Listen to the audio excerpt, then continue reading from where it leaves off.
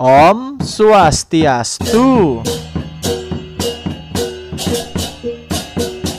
Oke ya teman-teman, kali ini kita akan melihatnya kumpulan ogoh dari Banjar Sawah Pedungan ya, Seketruna Yuda Asmara ya dari tahun 2012 sampai 2020. Oke, kita mulai saja ya dari 2012. Let's go. Nah, ini dia teman-teman, karya dari Banjar Sawah ya.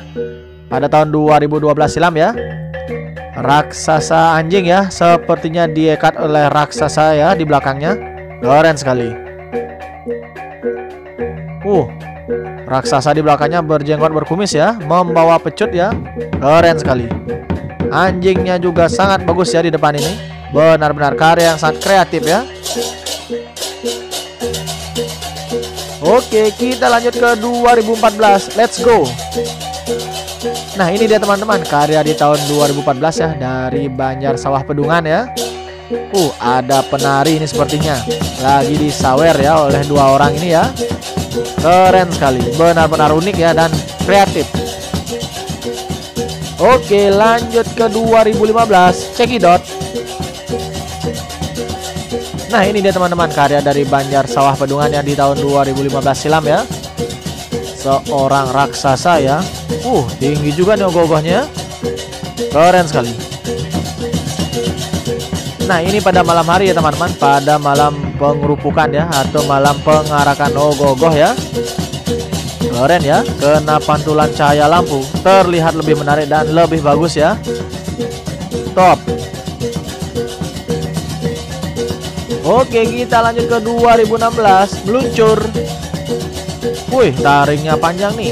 Ini dia teman-teman karya dari Banjar Sawah ya pada tahun 2016 ya. Raksasa berwarna putih ya Sepertinya sedang mengganggu manusia-manusia ya di bawahnya. Keren sekali. Oke ya bagi teman-teman yang tidak tahu di mana itu letak dari Banjar Sawah ya. Banjar Sawah ini terletak di desa Pedungan ya Di kecamatan Denpasar Selatan ya teman-teman Nah ini pada malam hari ya Pada malam pengerupukan ya. Lumayan rame ya Suasananya dulu. Benar-benar Bagus sekali ya. Oke lanjut ke 2017 ya Cekidot Nah ini dia teman-teman Karya dari Banjar Sawah Pedungan ya Di tahun 2017 ya. Raksasa berwarna hijau ya.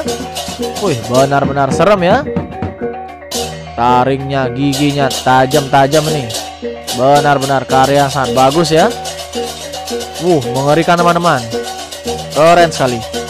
Oke ya bagi teman-teman yang tidak tahu apa itu ogoh-ogoh ya. Ogoh-ogoh adalah simbol atau perwujudan buta kala ya. Atau biasanya dikenal roh jahat atau roh halus ya.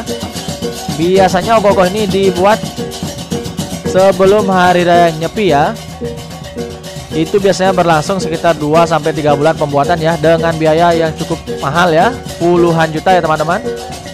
Dan biasanya dilakukan pengangkatan atau pengarakan ogoh satu hari sebelum hari Nyepi ya. Dan malam hari setelah pengarakan ogoh, ogoh itu langsung dibakar ya sebagai simbol pemusnahan dari Butakala atau roh jahat itu sendiri ya teman-teman. Ini pada malam hari ya, benar-benar bagus, keren. Oke kita lanjut ke 2018 ya. Cekidot Nah ini dia teman-teman. Karya di tahun 2018 dari Banjar Sawah ya. Raksasa berwarna merah ya. Berkepala dua ya. Keren sekali. Uh di bawahnya juga ada lembu ya. Ada manusianya juga. Keren ya teman-teman. Cukup mengerikan ya. Karya dari Banjar Sawah ini Benar-benar rame nih gogohnya. Pasti ini mengeluarkan biaya yang cukup banyak ya. Keren.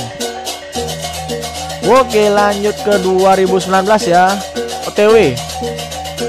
Nah, ini dia teman-teman, karya dari Banjar Sawah ya. Keren sekali nih, raksasa hitam ya. Dengan bentuk tubuh yang sangat bagus ya. Pembuatan bentuk ototnya sangat keren.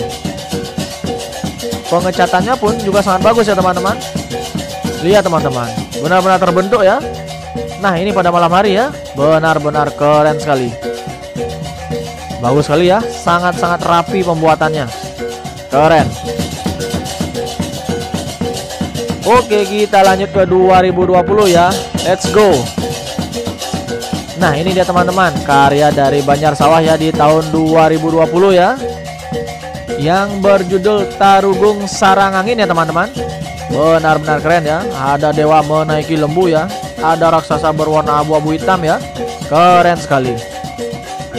Oke teman-teman. Terima kasih saya ucapkan ya. Jangan lupa like, komen, dan subscribe-nya.